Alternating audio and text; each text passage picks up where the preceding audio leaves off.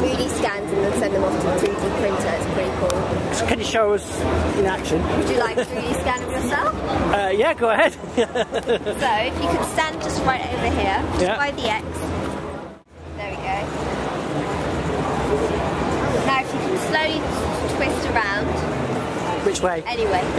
like that? yep. Okay. Keep going. Yep.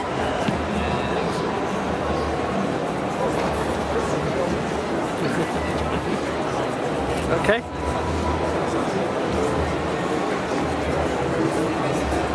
If I could take your name, It's Ian. Ian.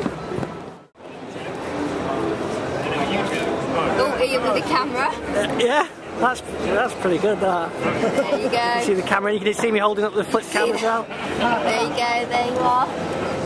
A not as high res, but it's pretty cool. Yeah, that is amazing. Just fundamentally freaky. So then once you've got an image, then what? Then you can print it out. Yeah, then we can send it to 3D printers.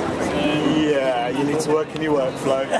you need to um, put it in through some uh, rendering software to fill in the gaps. Yeah. Then you, from there you need to um, then if you wanted to print it, you'd have to kind of cut it out and stick it it clean. to clean it out, chisel out bits, and then Yeah. stick it on a plinth so it can stand up. Yeah. Then put it into um, it's actually a print modeler, print modeling software, which you then from there print with. Yeah.